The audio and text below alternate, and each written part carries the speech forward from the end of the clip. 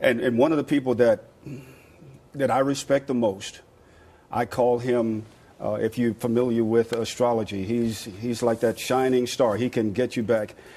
Discovered Kobe and, and Jerry West, and Jerry is with us right now. And Jerry, I, I, I appreciate you being here with us today, uh, my friend, because this is a, I know this is a tough day for all of us, but especially for you because you were the one that discovered Kobe. Well, Jim, you know, I really didn't discover Kobe. Okay, there was, you know, he was a, a great young uh, high school player, and that time it wasn't in vogue to draft players like that. And um, as I say, it was part of the process of getting here. His agent and Arn Tellem and myself were able to um, working through the draft uh, till he became a Laker, and um, those were very exciting moments for us to get a young, charismatic kid uh, like him, but more importantly, a, a very unique talent. And um, it was um, um, start of a long, I don't say process, but start of a long friendship and re- working relationship. And uh, to hear this news this morning, uh, frankly, at first I was shocked, and then after a while, it's really sunk uh, sunk in. And you know, to see the transformation of him from a 17-year-old kid who used to spend time at my house with me to my son Ryan driving him around because he couldn't drive. He couldn't even sign a contract because he was too young. Uh, to him, the constant questions about the NBA, uh, wanting me to go to a gym with him to watch him work out and maybe make suggestions to him. It was more than I really felt like a surrogate father to him. And then as his career blossomed, and uh, you know he started to establish this an enormous reputation as a player, and and also filled with accomplishments. But his charisma on top of it uh, was something that most great players don't have, and he had it. But uh, to wake up to this news, this has been one of the most horrible days of my life. Uh, I felt like I felt like I've lost a son and um, frankly not doing very well. Yeah, Jerry, I know we. Uh, there's only a few people that have had a a really intimate relationship with with Kobe, and and you are one of them because you were with him there through the good, the bad, and the indifferent. Well, Jim, you know it wasn't all rosy. Uh, it never is, and particularly for someone like him who was so anxious for success.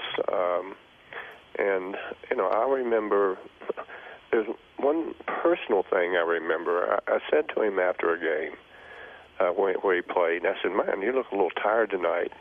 And he said to me, he said, "I just proposed to my wife, uh, to hopefully my new wife." And I'll never forget that moment. It was in the locker room right after a game, and you know, to see him get married, have children, and change a career so drastically to where he was making a difference in his world, not as an athlete, but as a very bright person.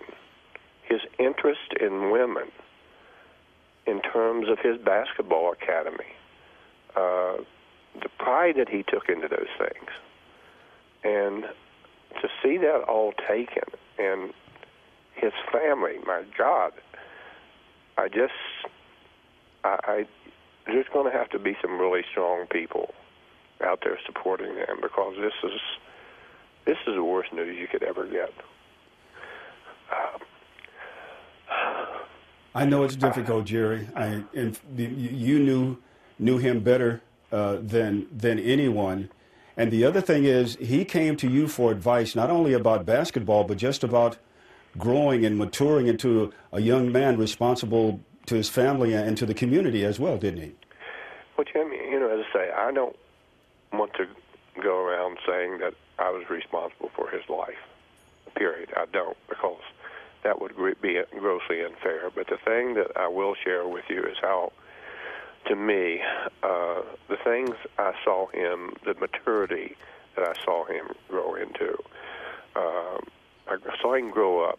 I saw him deal with you know press that was negative at times because and he played the game with a flair. And anytime you play the game with a flair, you're susceptible to making mistakes.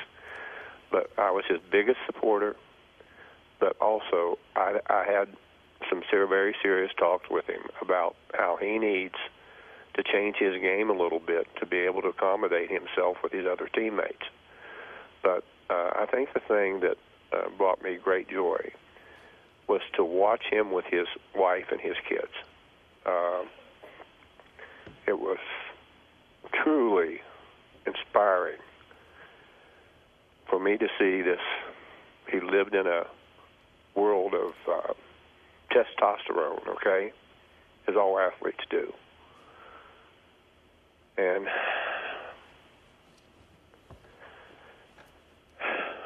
for uh, for him to be able to separate the athletic accomplishments with his personal accomplishments and the things that he was doing to have a successful career. This was a brilliant kid. This was, wasn't some athlete who just happened to be a great basketball player. He was more than that. And um, I, Jim, this is.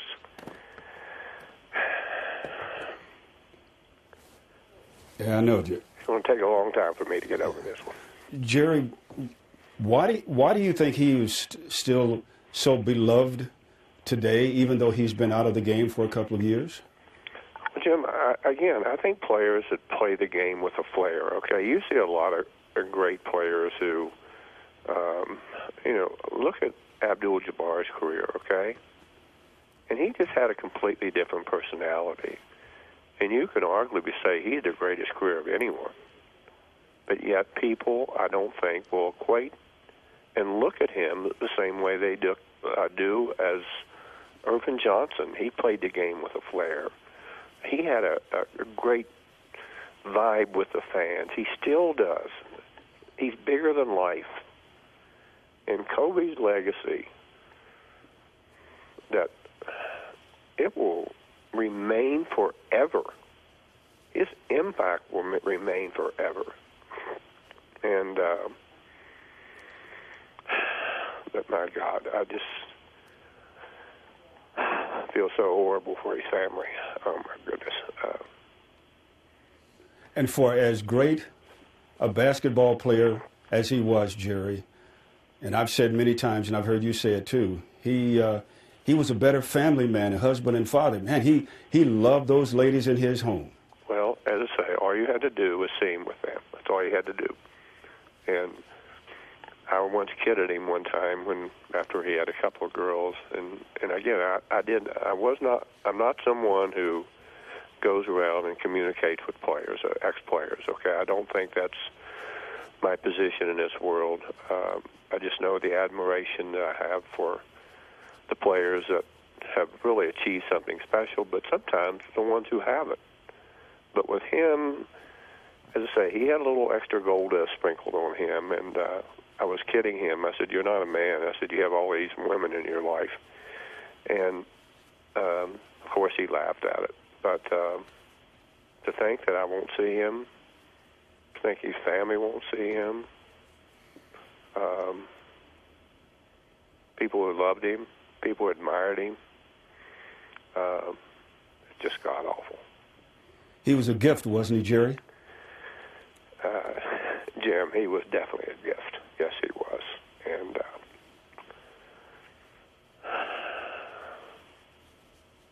as I say, you never know when it when a kid is born what it's going to be. And even though he was a son of a basketball player, he just hard to ma- imagine his excellence, his you know, people call it Mamba mentality. I, I don't. I don't. Um, he was just born with an incredible desire to win, and it had nothing with his mentality. He just wanted to win at and he would win at all costs. He laid his line on the life, his life on the line every night when it come came to winning. Losing was not in his vocabulary, and with a lot of great players, but he just had this persona that um, very few have, a lot desire, and a lot will never have, even though they've, they've had great careers. Hopper is with us now. She's on the Grammys red carpet. And Brittany, I'm, I'm guessing this really, this news is so shocking. And so many people that had been thinking what this night was going to be one thing, now such a different mood, I'm sure. Exactly. I mean, uh, many of us are just shaking out here, to be honest. It what started off as a joyous morning has turned into just a devastating, shocking red carpet here at the Grammys. I can tell you that it felt like a wave, like it started coming through the carpet, word of, of this happening, and then producers starting to call us, and it's just been absolutely tragic. Take a look at this carpet now. I can tell you that as celebrities are starting to get here, it, uh, it, everyone's in complete shock. Everyone is devastated. Everyone is just completely saddened by this legend's death. Also, we are at the Staples Center. The Grammys are held at the Staples Center. And obviously, this, this was Kobe's home, away from home, for so many years. So just unbelievably tragic. And as more celebrities come through here, we are going to get reaction, and uh, you know this this changes the game. This, this, just changes the game today here at the Grammys. Um, again, I'm still I'm still shaking um, over over all of this. Uh, we will we will bring you much more coming up later later this evening. For now, we're live at the Staples Center. I'm Brittany Hopper. Back to you where Kobe Bryant has been a resident for many, many years. Uh, we're going to see if we can join her now live on the air. Joy, are you able to hear us okay? Yeah, I hear you. I mean, this is just devastating. I mean, his neighbors are stopping. They're saying, we can't believe this happened.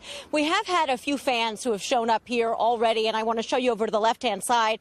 A couple came and just placed um, a dozen roses right here in front of the subdivision where Kobe Bryant lives. Obviously, they're not letting anyone in. Right now, we're just seeing, um, we've seen three Newport police cars that have gone through here. We don't know if they're coming in because of this or if they're here for another reason. But really, this is just devastating for so many people. I just talked to a man um, who was standing across the street who lives in the neighborhood. He said, I, I, just had to come here. I woke up, I heard the news, I had to come and just be here to almost pay respects. He was wearing Kobe's um, old high school jersey, of all things. And then another man was here wearing the number eight. I mean, Kobe Bryant is just as synonymous with the Lakers as anybody else is, and really in NBA history. And, uh, you know, I spent several years working for ESPN and covering Kobe and interviewing him numerous times in the locker room or there at the facility, and he is just, I mean, he's a force right? He is a basketball force and and a human being too. So we have to remember that he's not only just Kobe Bryant, the basketball player. He is Kobe Bryant, the husband. He is Kobe Bryant, the father. He is Kobe Bryant, the friend. So there are a lot of people who are mourning his loss. Those who worked with him. In fact, I was um, messaging a few moments ago with his former head coach, Mike Brown. He just says he's in disbelief that it's just a very sad sad day, not only for Lakers, but for the world of the NBA and fans and everybody who loved this man. And, and, so many of us did. He was legendary. He was one of the greatest players of all time. He was one of the wo- most well known athletes of all time, um, and somebody who has transformed Los Angeles sports, to say the least. Joy, thank you so much for that live report. I just don't have a lot to say. I, uh, the news is just devastating to everybody uh, who knew him, known him a long time. And, uh, you know, he, he just, he, mean, he means a lot to me, obviously. Um, you know, he was such a great opponent, you know. Um, it's what you want in sports. Um, he had that, that DNA that, um, that very few athletes can ever have. You know, the, the Tiger Woods and the, the Michael Jordans. You know, um, it's funny. I, uh, I, was, I was getting to know him more since he retired. You know, um, yeah, this is this is a tough one. I don't. Uh, I mean, we have to go play. Uh, I mean, the news is just so devastating for, for Vanessa and, and, his, and his family. And um, there's just so many people he touched.